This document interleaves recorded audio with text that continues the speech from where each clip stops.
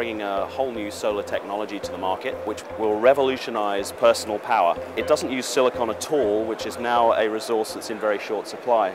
As you can see, it's very flexible, very thin. The technology is called dye-sensitized thin film.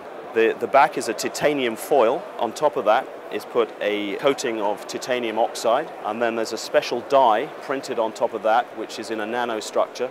The material is cut into lanes, and a counter electrode is put over the top, and an electrolyte is injected in. And we make it on a roll to roll process. So, this roll to roll process makes production much cheaper. It makes it uh, much easier to make into different shapes. And of course, you can see that the flexible nature means it can be put on clothing, it can be put into bags, hats, all sorts of applications.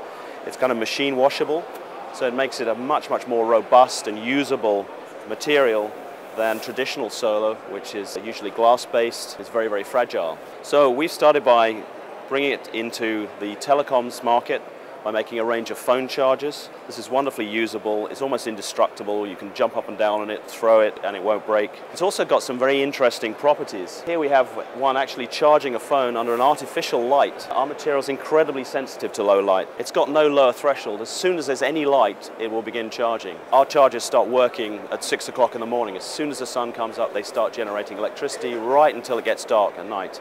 Whereas most chargers, until the sun's high in the sky, they won't start working. So that actually gives you a high yield of energy. You find silicon solar will work very well if it's directed at the sun and it's kept cool. But that's not what actually happens when people use things. They'll slap it down on a table and expect it to work. With our material, it does work. It also takes light from a from incident angle and still converts it into energy. Its energy payback time is much, much lower than silicon. Unfortunately, although it's a renewable energy source, silicon cells can take years to give you the energy payback. That means to get back the energy you put in to manufacture them. With our material, it's measured in months. So again, it's much more sustainable in terms of, in terms of uh, energy usage. This is completely new. The technology was actually developed in the laboratory about 18 years ago, but it's only been commercialized and put into mass production in the last year. This particular sample is designed to charge basic phones, and then we can also link it with a battery pack and different phone connectors and then it can charge almost any small electronic device. The applications go much further than just basic mobile phones.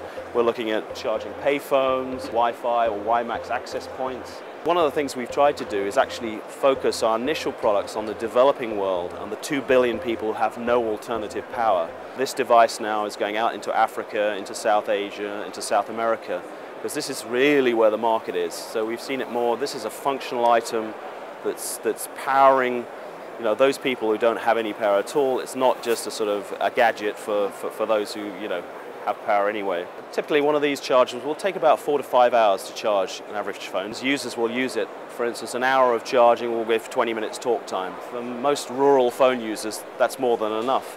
And even you'll find when it's overcast, and you've got a completely dead phone, it will give it enough power so you can make calls, you can use the phone. We're expecting it will retail for around about $25 for the basic unit. Because of its nature, it's flexible, we can, we can do lots of things with it. So we're now experimenting with putting it into bags, into clothing, into hats. The applications are endless. I think we've identified about 600 products that we could make with this. A fixed wireless phone. We provide a slightly bigger panel for that because it's on very heavy usage is empowering telecoms infrastructure. So we're now seeing a sort of revolution in wireless technology, WiMAX, broadband, internet going out, particularly in developing countries. With a solar solution, you don't need to wire it in anywhere. If you have power issues with power outages, you know, that's a problem. With ours, it's completely autonomous. The transmitter goes in with a solar power solution and you can forget about it.